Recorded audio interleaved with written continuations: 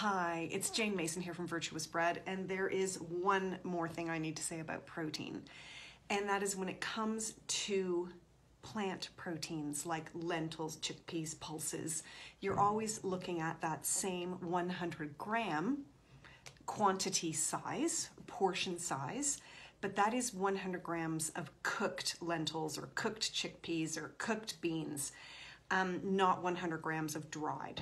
Okay, so you're always going to have to, you know, either you buy them in cans and so they're already cooked, but it's way cheaper and lighter to carry if you buy them dried and you cook them yourself.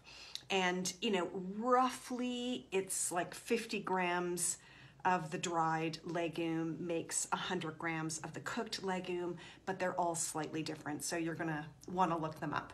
But if you cook too much, that's okay. Always leftovers or soup. Okay, bye for now.